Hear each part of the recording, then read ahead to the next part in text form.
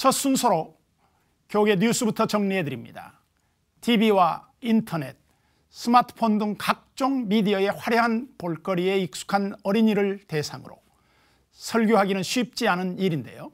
한국교회 다음 세대 전략 연구소가 그 해답을 주기 위해 다음 세대 어린이 설교자 세미나를 마련했습니다. 유성훈 기자가 보도합니다. 최근 한국교회의 위기론이 나오는 이유 중 하나는 주일학교, 즉 교회학교 교육 위기도 한몫을 하고 있다는 평가입니다. 이러한 위기는 저출산으로 인한 학생 수의 감소도 있지만 어린이 전문 사역자와 우수교사들이 확보되지 못한 것도 큰 이유로 지적되고 있습니다.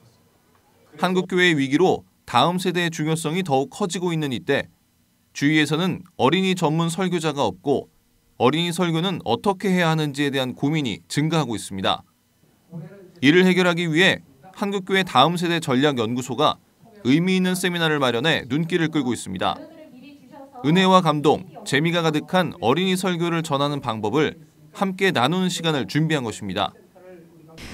맛있는 설교, 말씀, 밥을 아이들하고 나누고 싶다. 이 생각을 하게 돼서 이 과정을 이제 준비하게 됐어요. 그래서 모두 같이 어린이들과 함께 나눌 수 있는 설교 셰프들이 됐으면 좋겠습니다 하는 그런 마음으로 이 세미나 준비하게 됐습니다.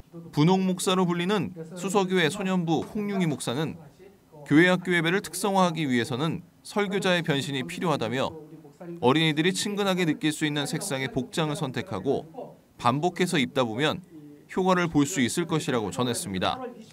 말씀을 아이들의 언어로 전달해 주는 것, 여러 가지 미디어를 활용한다든지 중요한 건 설교자, 설교자가 직접 미디어가 되는 거죠. 그래서 다른 어떤 자료보다도 순수한 말씀이 아이들 안에 전달될 수 있도록 최선, 최선의 노력을 다하는 것 중요하다고 보고요.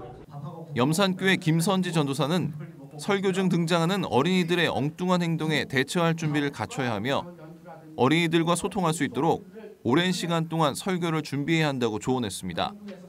사역자들은 미리 공과 내용을 확인할 뿐만 아니라 설교문을 2주 전부터 또는 1주 전부터 확인해서 자기 교회에 맞는 어, 설교문을 만들어야 되겠고요. 그리고 미디어 활용에 있어서도 그냥 갖다 쓰는 것이 아니라 자기의 교회에 맞게, 지교에 맞게 어떻게 하면 우리 아이들이 더 미디어에 관심을 갖고 세미나의 강사로 나선 홍룡희 목사와 김선지 전도사는 어린이 설교는 어린이들의 눈높이를 맞추기 위해 만화와 동영상 등의 미디어 활용을 비롯해 역할극과 이야기 등 최고의 소품과 창조적인 기술, 철저한 준비도 필요하지만 무엇보다 하나님의 음성이 들리는 통로가 되어야 한다고 강조했습니다.